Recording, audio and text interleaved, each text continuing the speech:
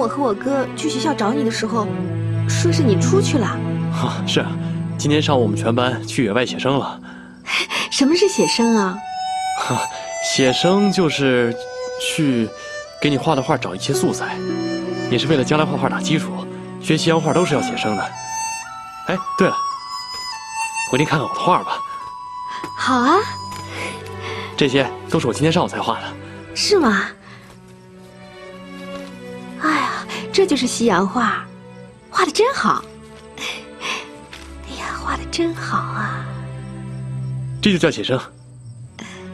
张南哥，嗯，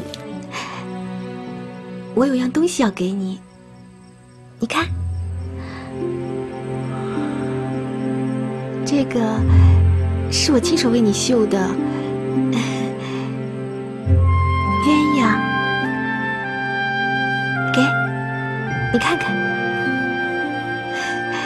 南哥，好看吗？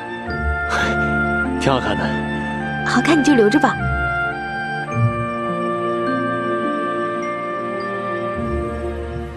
你哥怎么还不回来啊？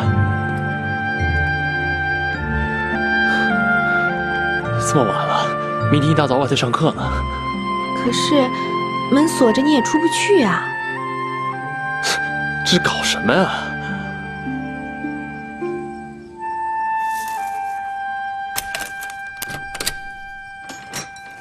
如新！啊，如新，你可回来了！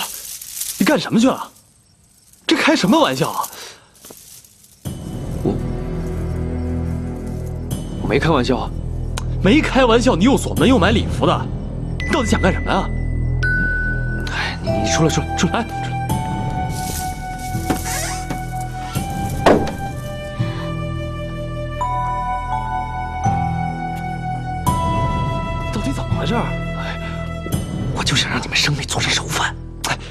生米做成熟饭？我不是跟你说过吗？如意就是咱俩的亲妹妹，这娃娃亲都是上代人定的，我是不会跟如意结婚的。哎，长南，我求你了，如新，如新，你就娶了如意吧，只要她不是黄花闺女，她就不用祭瑶了。祭瑶？祭什么瑶啊？长南，我求你娶了她吧！啊，只要你跟她成了亲，你就等于是救了她的命啊！你先起来，你先给我说清楚。你说什么？爹要拿我祭瑶？我不相信，我不相信爹会这么做。我也不信。但是当时我在场，我差点没跟他们干起来呀！到底是怎么回事啊？哎呀，紫禁城那个要垮台的皇上，今年要祭天，所以要我爹烧那个祭红大龙缸。结果我爹烧了三次都没烧成，鲁公公就要拿他治罪。啊你也知道我爹那人，一辈子爱瓷器就像爱自己的性命一样，也为了赵家几百年的基业，就求鲁公公再试一次。没想到那个老东西出了个狠招，要拿童女祭瑶。这都什么年代了，还说拿童女祭瑶，简直是无法无天了。如今，你干嘛不去告他们？没用的，鲁公公手里有总理衙门的公文，魏县长都奈何不了他。我我就担心如意出事儿，才带他到南昌。我我就想让你们赶快完婚，这样你就等于是救了他的命啊！如姐，如姐，如意，您先别着急啊。请用茶。陶老板，我赵家历代烧制玉瓷，从未失过手。可我这次却连续败了三次，还差点闹出了人命。陶老板，您真有把握？唉，说句心里话，我实在没什么把握。我一个人坐在这里很久了，心里是七上八下的。可是你别忘了，你是和陆公公立下生死状的。这要是真的没什么把握的话，你为什么要这么干？唉，陶老板，更何况咱们两家还是结了亲家的。我的如意已经许给了你们家老二昌南。这万一要是有什么好歹的话，咱们这亲家做还是不做了？当然做了，这事儿已经定了。不管出什么事，这儿女亲事双方都不能反悔的。可是陶老板，你活下这条命，都要做这件事，究竟是为了什么呢？说到底，我这是为了景德镇的面子。张老板，眼下是个节骨眼儿，是个坎儿。你虽然失手了，可总得有人站出来迈过这个坎儿啊！让我佩服。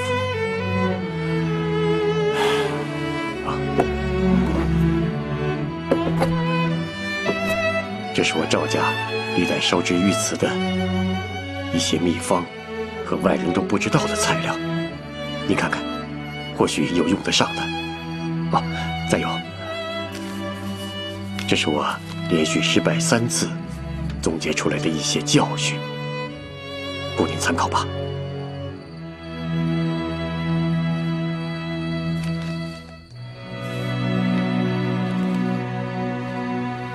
现在是民国了，不是大清了，容不得他们这么无法无天的胡作非为。这样，我去学校请两天假，咱们一块儿回景德镇跟他们理论去。还回去干什么呀？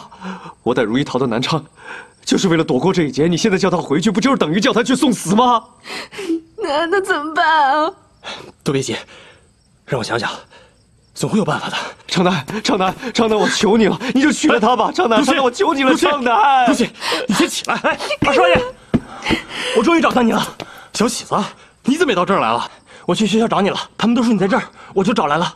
二少爷，快回家吧，家里出事了啊！家里出什么事了？老爷要替赵老板烧制宫里的龙缸，如果失败了，就要穿铁靴戴铁帽而死。穿铁靴戴铁帽而死？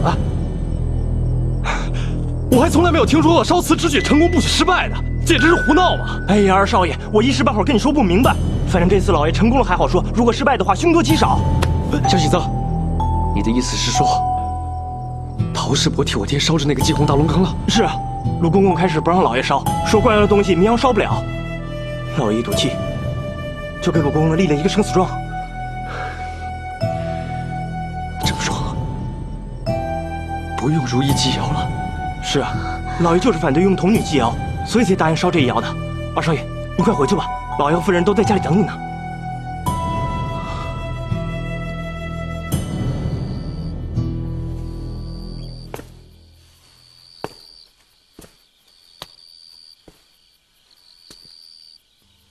老爷，我有话跟你说。我知道你要说什么，这事儿已经定了。定了就不能反悔吗？老爷，烧制这对龙缸风险太大了。赵家的官窑土好颜料好，可连烧三次都没烧成啊，说明这龙缸确实难烧。我们家祖上虽说是几代人做陶瓷，那也保证不了啊。这个我心里清楚。不，我知道你不服这口气。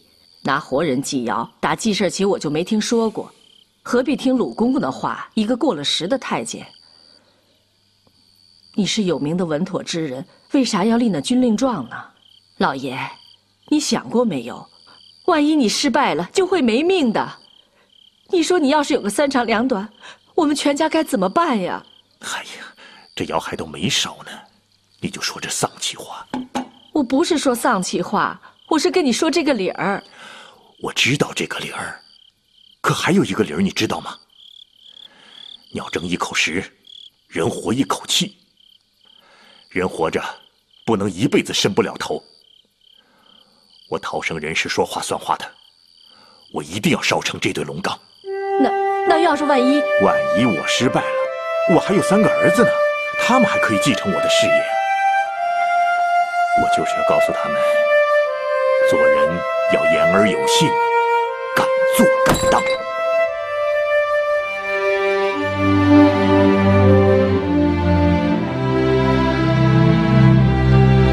先是做东朝，弟子经开窑，一盅雄鸡酒，叩敬献师场。又是弟子在，蒙师多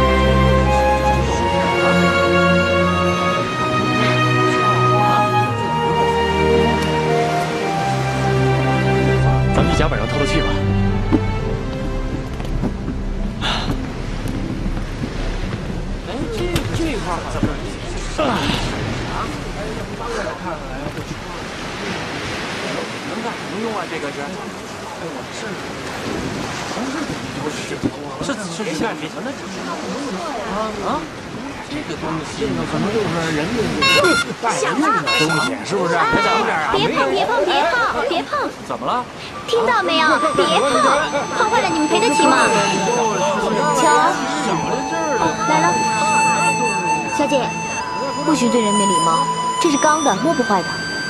那也不能摸。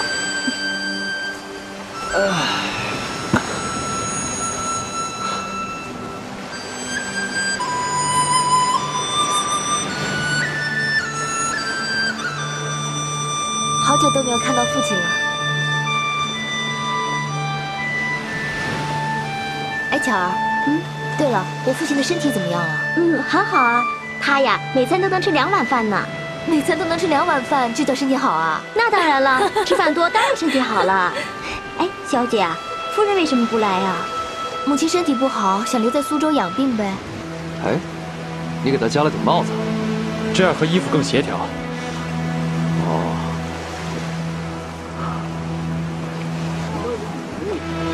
长南哥，哥，哎，哎，看画多好。画谁呢？哎，就那个，那女孩。小姐，这鸽子好可怜啊。是啊。我看鸽子好的差不多了，我们把它放回天上去吧。嗯。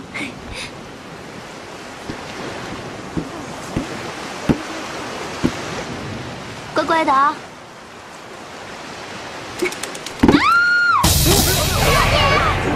小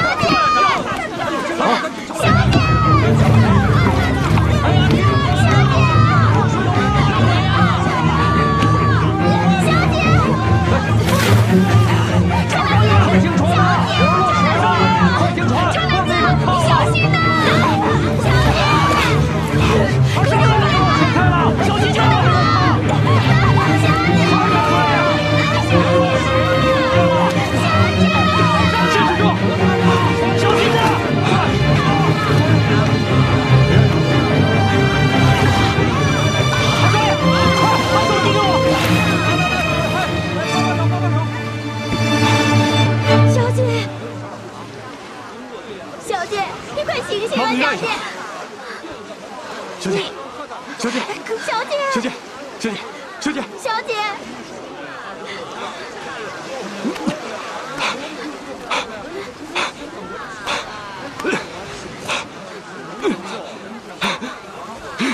哥，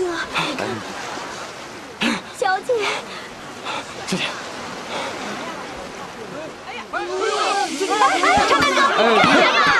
占我们小姐便宜啊！什么这个便宜了？我就他，你让开，就他也有亲嘴的嘛！哎，你快让开吧你！你让一声就停止呼吸了。试试嘛！长林哥，你干如嘛？意，你撒手！哥，这小姐现在很危险，她这是一种救生的方法。你说，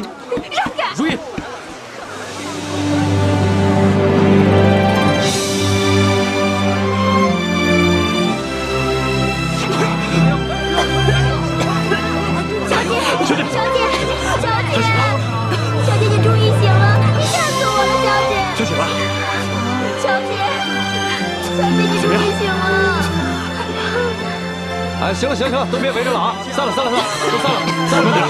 哎，行，快点，慢点慢点。小姐，怎么样？小姐，小姐，他刚才亲你。小姐，对不起，你刚刚已经停止呼吸了，我是迫不得已才用人工呼吸的。没事，小姐，我对天发誓，我绝对没有侵犯你的意思。我知道，谢谢你。小姐，你都湿透了，咱们回去换衣服吧。快，快带回去换衣服吧。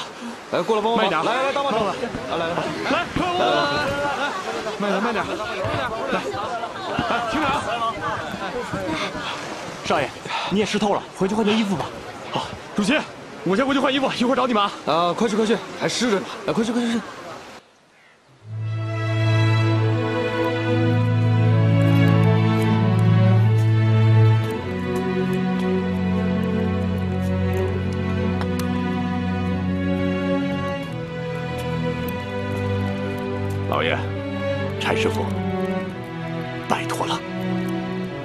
放心吧，这窑里的火不熄，我就不离开窑半步。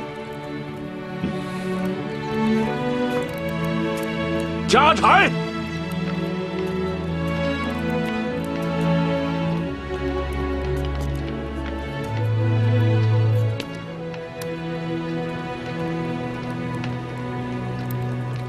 魏县长，这火得烧五天五夜，中途可不能熄火啊！五天五夜？为什么？陶家窑厂三天后封窑，五天后出货。如果这祭天龙缸烧不成，就得头戴铁帽，脚蹬铁靴而死。没错，这也太残忍了。我也没见过。当然了，我也希望它能够烧成喽，这样船过舵过，大家都可以相安无事。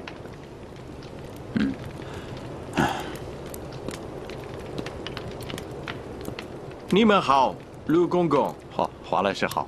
啊，神父先生，你好。哎呀，你们在这火上烧铁帽子和铁靴子，准备烤小鸡还是烤乳猪呢？神父先生，这是惩罚犯人的一种刑法。刑法？对。让犯人戴上这种帽子，穿上这种靴子受刑，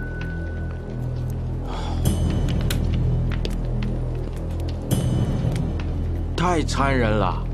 啊，这异国有异国的法律，你们国家不是也有绞刑吗？啊，那脑袋和身体搬家不是也很残忍吗？可是绞刑，犯人受苦的时间很短，绳子一拉就完了。可这个穿戴上去，犯人的肉体太受摧残，一时半会儿还死不了，太痛苦了。这算什么呀？你不知道古时候还有剐刑吧？一个犯人要剐几个时辰，一千多刀呢。嗯，进去吧。好，走吧。主啊！饶恕这些残暴无知的人吧。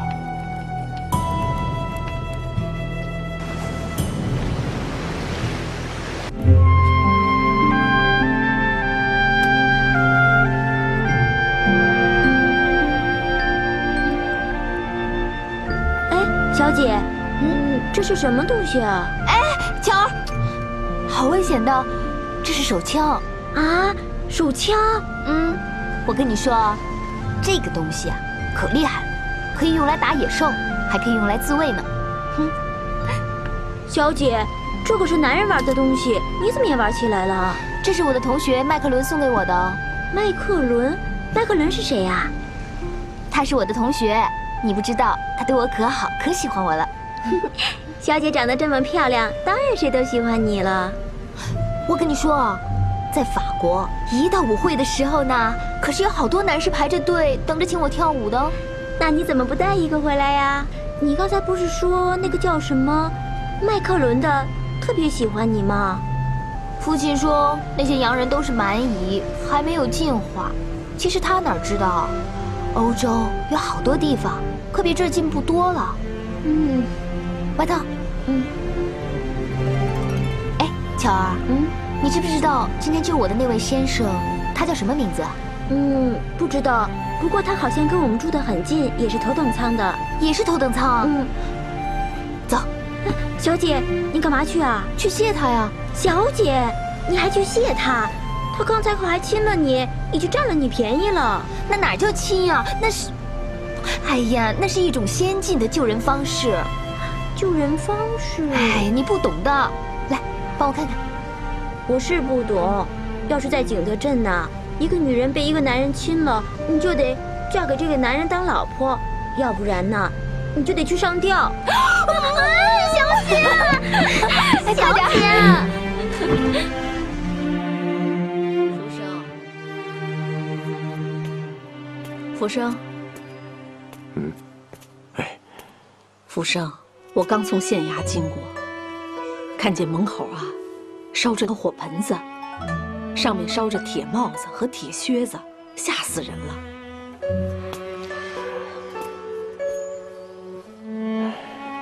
福生，依我看，陶老爷真不该接这个活万一他没烧成，咱们这个亲家……我已经找鲁公公说过了，没有用了。唉，为烧两口龙缸，连命都搭上了，这算什么事儿吗？我希望它烧成。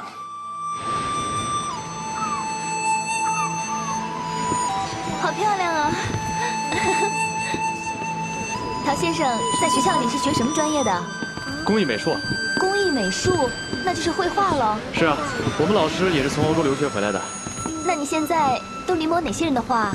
呃，伦勃朗的，莫奈的，德加的。伦勃朗我知道，他专门画光和影子的交汇。那这次魏小姐去景德镇是旅行啊，还是？我是回家探望我父母。我们家小姐的父亲可是浮梁县的县长呢。巧儿多嘴。原来是县长大人的千金呐！呀，失敬失敬。嗯，千万别这么说。哎，唐先生的府上也在景德镇吗？是啊，我们世居在景德镇，做陶瓷好几代了。陶瓷世家呀，那你是回来继承家业的喽？不敢当，不敢当。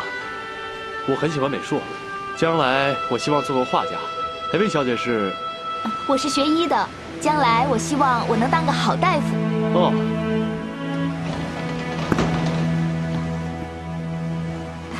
超南哥。如意。超南哥。魏小姐，我给你介绍一下，这是如意，这是如新，都是我的好朋友，也是从景德镇来的。先生你好。哎哎哎。啊啊啊！小姐你好，茶南哥，船舱里给你备好了茶，你进去喝吧。哎呀，这风好大呀，我先进去了。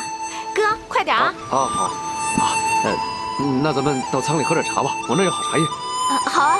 哎，小姐，你平时不是不喝茶的吗？喝了茶你会睡不着觉的。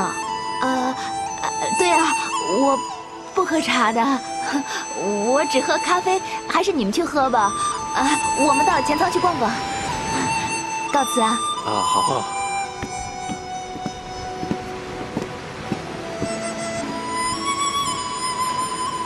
洋咖啡有什么好喝的？跟中药似的，哪有茶好喝？走，咱喝茶去。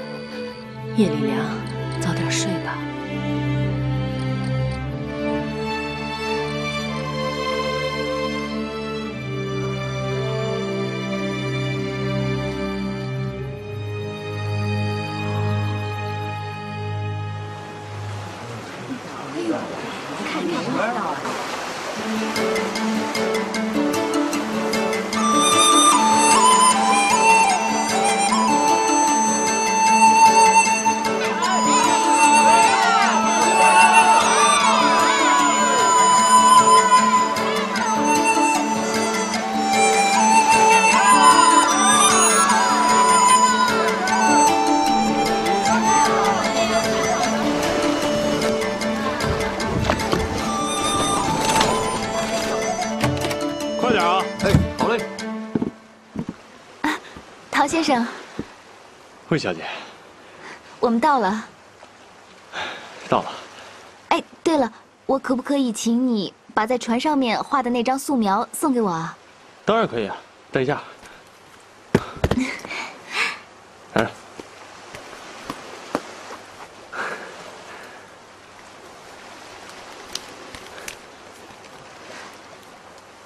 那哇谢谢你陶先生。别客气。我们后会有期了。后会有期。嗯，走吧。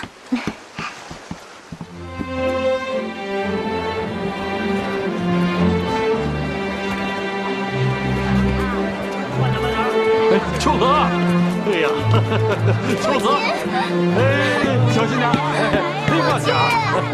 哎呦，让爸爸好好看看。好，好啊。身体好不好啊？好，好。这就是景德镇了。是啊，小姐，您上轿吧。对对，上轿。上轿？不用了。哎，我骑自行车。哎，你认得回家的路吗？父亲。景德镇就只有一个县衙吧？跟着我啊！哎，小姐，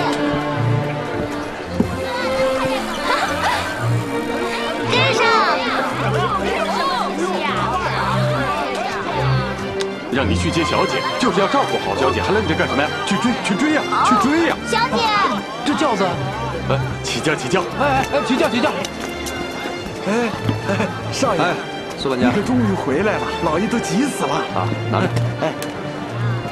来，小心点。哎，来来来，长南，哎，给我。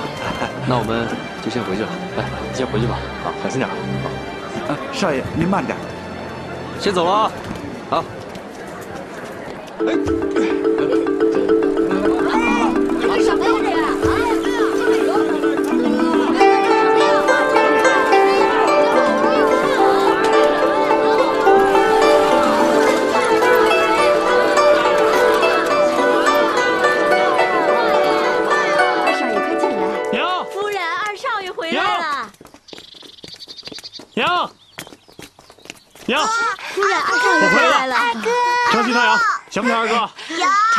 娘，你回来了。回来了。哎呀，好像瘦了。没有，我在学校吃得好，睡得香，我还胖了呢。啊，哎，爹和大哥呢？哦，你爹在窑厂，大哥在店里呢。来，快走，咱们进屋说说话去啊。来。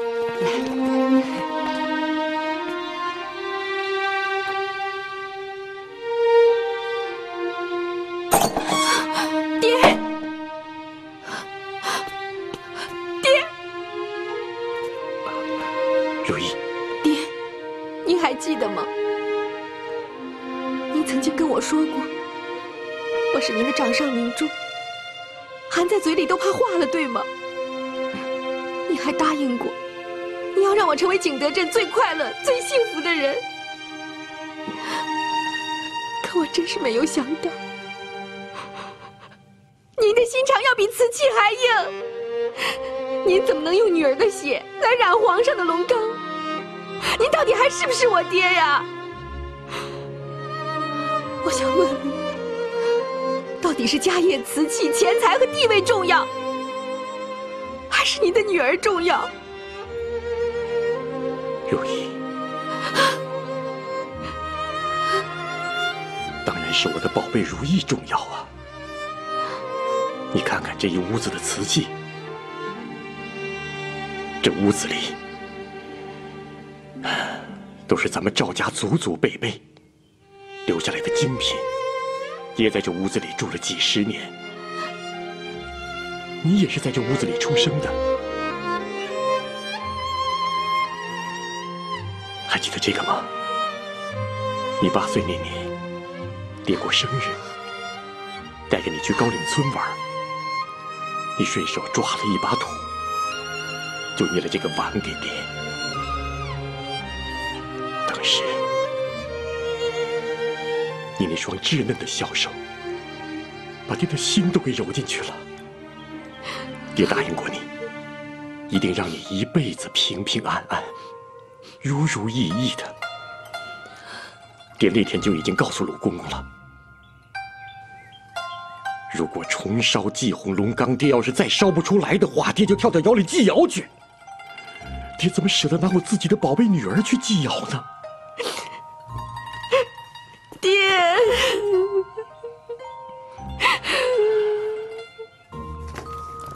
你好，二少爷。你好，哎，放这吧。二少爷，哎，二少爷回来了。陈师傅，爹，我回来了。嗨，进学堂没几天，就学会穿洋人的衣服了。这个很平常的，学校里的同学都这么穿。大家穿你就穿呐。哎，做什么事都不能随波逐流，知道吗？是，爹。嗯，坐吧。爹，我来吧。啊，长南，这医窑里头啊，烧着给皇上的祭红大龙缸，这可是你父亲从来没有烧制过的御赐。这是帮官窑烧的。嗯，咱们不光是救了一条人命，民窑的名声更会传遍整个景德镇。再往后，咱们陶家的瓷器就会卖到更远的地方。长南，你要努力呀。知道了，爹。哎，对了，小喜子，哎。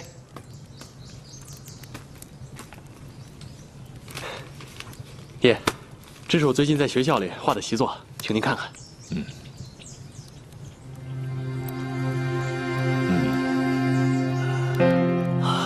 啊，柴师傅，你看看，啊，不错不错。哦。这幅图画虽然图案简朴，但是画工非常细致。长南，你在这学校三年没有白学，看来我们陶家。也就只有你能接我的班了，啊！可是爹啊，我长南，烧制这对祭火龙缸是要冒着很大风险的。我把你叫回来，就是要让你好好看看，多学着点知道了。哇，小姐怎么样？这间房合不合你的意啊？挺好的，那就好。小姐，你先坐会儿，我去给你拿点吃的。好。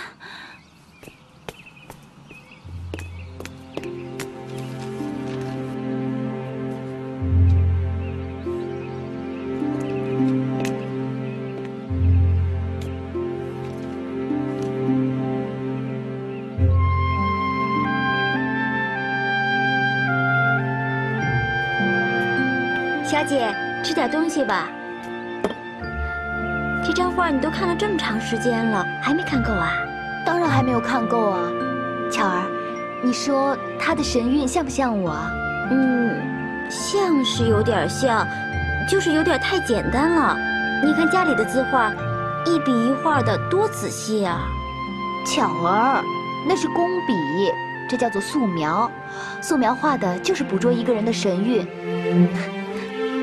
帮我收好啊！嗯。小喜子，哎，我觉得我爹这次接宫里的活儿，真是没这个必要。你说就为了一对大缸，还签下生死状，值得冒这么大风险吗？景德镇遇上节骨眼了，老爷这是挺身而出。老爷以前就说过，他做的东西一点都不比官窑的差，可卖的价钱比赵家官窑的差远了。那当然，这官窑有朝廷撑着，这民窑怎么跟官窑比？不过我倒是挺佩服我爹的，明知山有虎，偏向虎山行。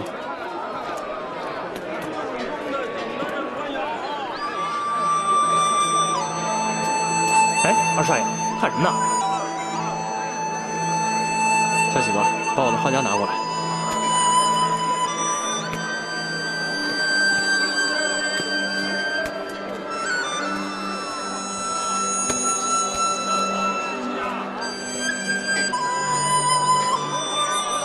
二少爷，这女的有什么好画的？你不觉得她挺特别的吗？她身上有一种东方女子的气质，这点跟魏小姐身上的西洋气质完全不同。这正是我想要的瓷画屏风啊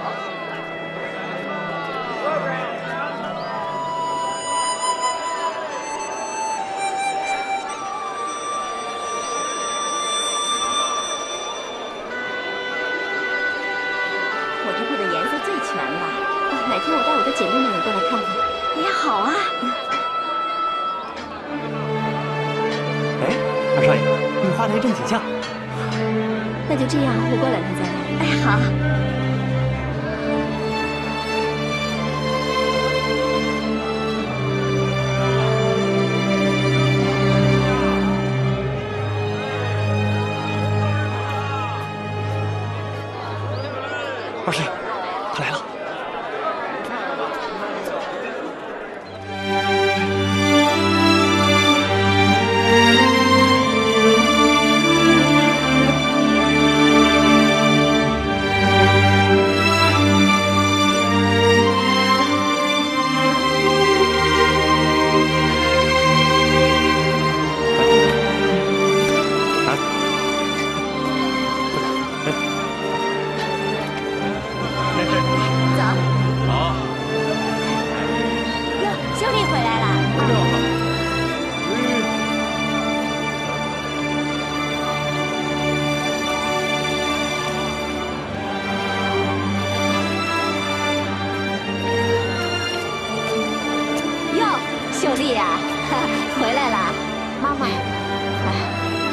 啊，挺好的啊，快进去吧。好。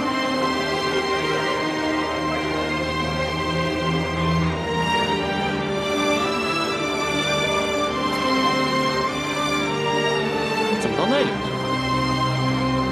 原来她是个小姐啊。走，哎，二少爷，你不能去那儿。咱又不干什么，就是画画啊。走。哟，这位先生，来来来来。郝俊先生啊，第一次来吧？哦，是，我是来找人的。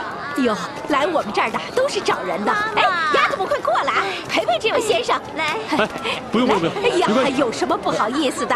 一回生二回熟，快快招呼着，来来来来。哎呀，进来吧，我我我我不用不用不用，没没关系。哎呀，来进来吧，我我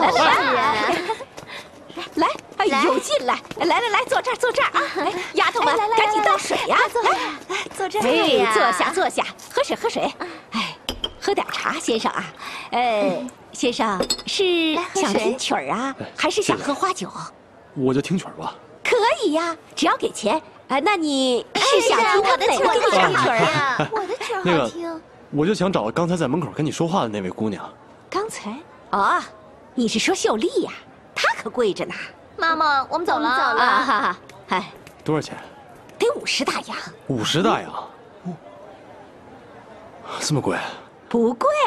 他就这身价儿，小喜子，你那还有吗？No。啊，不好意思啊，我今天就带了这么多，要不这样，我今天先听着，改天我再把钱给你送过来，你看行不行？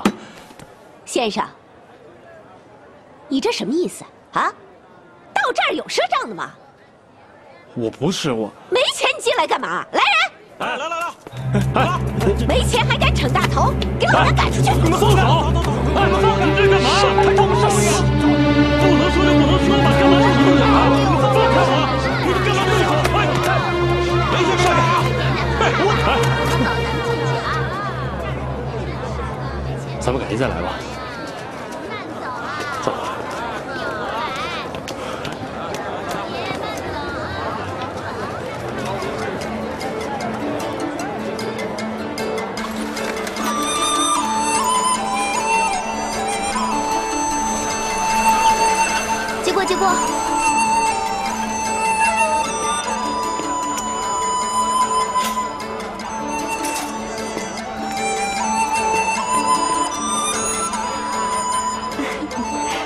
走走，心情真好。哎，小蕊，你看，那不是魏小姐的车吗？是啊。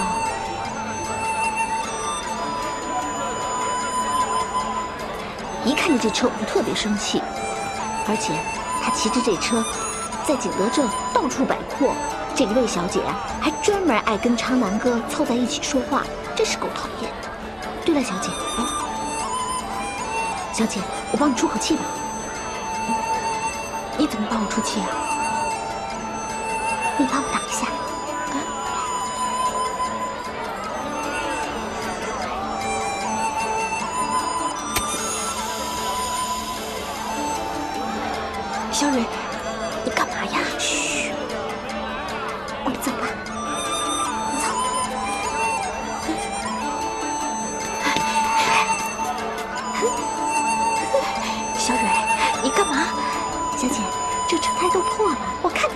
骑车。走。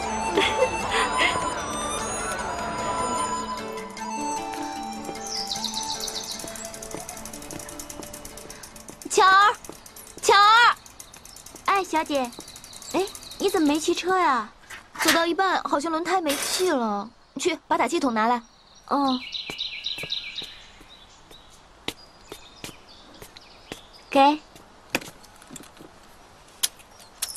哎，小姐，这怎么用啊？你看着啊。